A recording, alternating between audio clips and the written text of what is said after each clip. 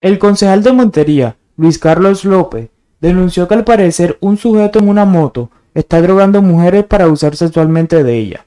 Aseguró que los hospitales ya han recibido varios casos como el registrado este pasado miércoles 10 de agosto, donde una joven fue encontrada presuntamente drogada en el barrio Granada de la capital cordobesa.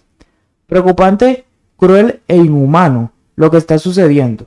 Quiero poner en alerta a todos los monterianos, sobre todo a las mujeres y jóvenes que hoy son víctimas de abuso, violaciones, expresó el concejal.